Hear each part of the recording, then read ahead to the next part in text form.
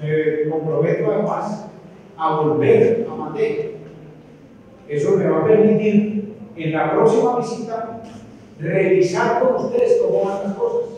El pasado sábado 26 de marzo, el gobernador de Antioquia, Aníbal Gaviria, se reunió con los representantes de las comunidades afro del municipio, donde se adquirieron varios compromisos por parte del mandatario de los antioqueños.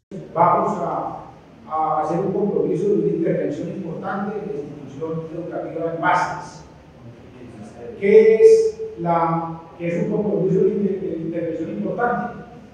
Le estamos abriendo, lo mismo que la otra alcaldías, ahora un cupo de 1.500 millones de pesos para infraestructura de educación. Demandé eh, temas relacionados precisamente con infraestructura, con eh, eh, infraestructura de conectividad, también con infraestructura de educación, eh, proyectos productivos en el tema cacaotero, en el tema piscícola y en el tema de caña, en el marco del Plan Departamental del Agua, en temas de acueducto y alcantarillado. Continuar con la vía de la quiebra hasta el puente de Nendó. Las obras hidráulicas desde el Sireno hasta la quiebra.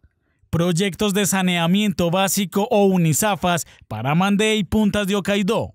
Una motovicirruta entre Vázquez Nuevo y Vázquez Viejo y proyectos productivos en Cacao. Fueron los compromisos adquiridos por el gobernador con los líderes de esas comunidades.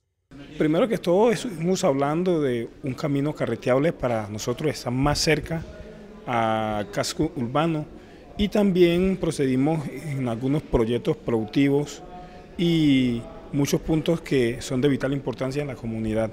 Lo que es eh, de construcciones de escuelas, eh, el proyecto de UNISAFAS de vital importancia, eh, también de, de un proyecto del puente de Punta Ocaidó, de un motor fuera bolda y, una canoa para transportar enfermos. Eh, también estuvimos hablando hoy del el proyecto del cacao. Nosotros los campesinos debemos de cultivar la tierra y, y bueno, eso es de vital importancia y eso va a prosperar nuestras comunidades. Y yo pienso que la mejor noticia que hoy llevamos es que el gobernador se comprometió.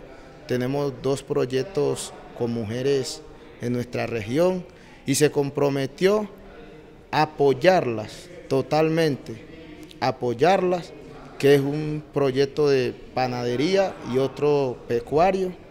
Adquiridos los compromisos y las tareas para los equipos de trabajo, se espera avancen para la próxima visita del gobernador en el corto plazo. Deseamos se avance en ellos y así saldar en algo esa deuda histórica que se tiene con estas comunidades.